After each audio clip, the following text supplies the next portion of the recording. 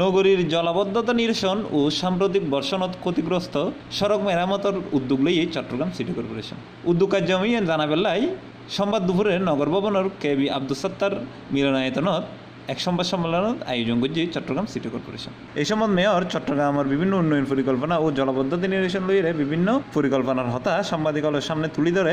জলবদ্ধতা স্বনি পর্যায়ে লই কীভাবে আনন্দ যায়? ইয়ান লইয়ানে আরা কি কি পরিকল্পনা এবং পদক্ষেপ গ্রহণ করছি। এই বিষয়ে মিডিয়ার মাধ্যমে নগরবাসীরা অবহিত করার না, নিলে মূল লক্ষ্য আর কি। তো আরাতে পদক্ষেপের মধ্যে আছে কিছু স্বল্পমেয়াদী পদক্ষেপ লই ইয়ানোর কারণে কিছু কিছু এলাকা সুফল পাই। কিছু মধ্যমেয়াদী পরিকল্পনা গ্রহণ করছি। আর কিছু হয় দীর্ঘমেয়াদী পরিকল্পনা করছি।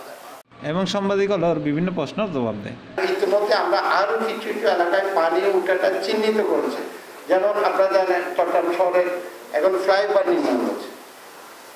ওয়াসার ওদের প্রকল্প বাস্তবায়ন করছেন। তারপর পিডিপি প্রকল্প বাস্তবায়ন করছেন, টি টিএনডি প্রকল্প বাস্তবায়ন করছেন। সবগুলো কিন্তু রাস্তা ব্যবহার করে করা হচ্ছে। এবং রাস্তা প্রচণ্ড পুরোপুরি হচ্ছে, কর্তন করা হচ্ছে। যার কারণে এইটাও কিন্তু একটা ভোগান্তির কারণ। কিন্তু এগুলো যেহেতু আলটিমেটলি জনস্বার্থে করা হচ্ছে এবং সরকারের পক্ষ থেকে করা হচ্ছে, বিভিন্ন ডিপার্টমেন্ট করছেন এগুলো আমাদেরকে সম্মতি না দিয়ে আমাদের কোনো উপায় নেই। আর এগুলো আমি দায়িত্ব গ্রহণ করার আগে কেউ যদি বলেন যে সমন্বয় এই প্রকল্পগুলো সবগুলো কিন্তু আমি দায়িত্ব গ্রহণ করার অনেক আগে এই প্রকল্পগুলো গ্রহণ করা হয়েছে এবং বাস্তবায়ন শুরু হয়েছে এগুলো।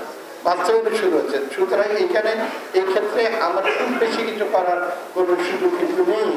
আমাকে অনুমোদন প্রতিষ্ঠান হিসাবে সরকারি কাজে অবশ্যই আমাকে অনুমোদন দিতেই হবে। আমাকে দিতেই হবে। এটা না দিয়ে কোনো উপায় নেই। কেউ পদক্ষেপগুলো নিয়েছি।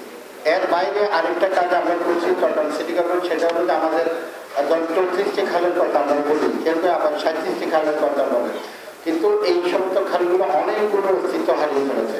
আমরা আর এস এর ভিত্তিতে সমস্ত খালগুলোকে আমরা চিহ্নিত করছি। সমস্ত খালগুলোকে আমরা এটা আমাদের স্টেট ডিপার্টমেন্টের এই দায়িত্বটা পালন করছেন এবং এটি আমাদের সীমানার নির্ধারণটা সম্পন্ন হলে তখন আমরা উচ্ছেদে যাব। তখন আমরা উচ্ছেদে যাব এবং উচ্ছেদ করে আমরা খাল পাড়ে আর কোনো ধরনের বসতি আমরা অ্যালাউ করব না। খাল পাড়ে আমরা মিনিমাম দশ ফিট মিনিমাম দশ ফিট এইখানে আমরা এগুলো যান চলাচলের জন্য আমরা রাস্তা হিসাবে এগুলো আমরা তৈরি করব। এবং এই সমস্ত কাজগুলো সবই হয়ে গেলে এগুলোর জন্য একটু সময়ের প্রয়োজন আছে। সবগুলো হয়ে গেলে আমাদের পরিকল্পনা আমরা সম্পন্ন করেছি প্রকল্প হিসাবে প্রকল্প চূড়ান্ত করেছি। এখন যার বাস্তবায়নের পর্যায়ে আছে। বাস্তবায়ন হতে যে সময়টুকু লাগে এবং বাস্তবায়ন সম্পন্ন হলে আমি আশা করি নগরবাসী উপকৃত হবে। আমি আপনাদের মাধ্যমে নগরবাসীকে একটা মেসেজ দিতে চাই। অবশ্যই আহ, নগরবাসী যে ক্ষতিগ্রস্ত হচ্ছে এটার জন্য আমি অত্যন্ত দুঃখিত এবং আমি এটার জন্য অনুতপ্ত। পাশাপাশি এই ক্ষেত্রে আসলে এখন আমরা সবাই জানি প্রকৃতির যে বিরূপ আচরণের শিকারও কিন্তু আমরা করছি এখন জলবায়ু পরিবর্তনের প্রভাবও পড়ছে। এখন সমুদ্র বৃদ্ধের উচ্চতা বৃদ্ধি পেয়েছে। এখন একসাথে পাহাড়ি জল নামছে, তারপরে কাপ্তাই বাঁধের পানিও ছেড়ে দেওয়া হচ্ছে।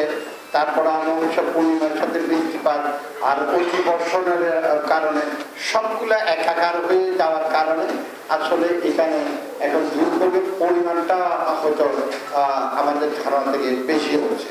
তো আমরা আশা করছি আমাদের সবাই যদি সহযোগিতা থাকে এবং সবাই যদি সমর্থন থাকে, সবাই যদি এগিয়ে আসেন সরকার অবস্থান থেকে তাহলে আমাদের এই যে সমস্যা, এটা থেকে অবশ্যই আমরা উত্তরণ করতে পারব। আর একটি বিষয় আমি আপনাদের মাধ্যমে সবার কাছে বিনয়ের সাথে অনুরোধ করব।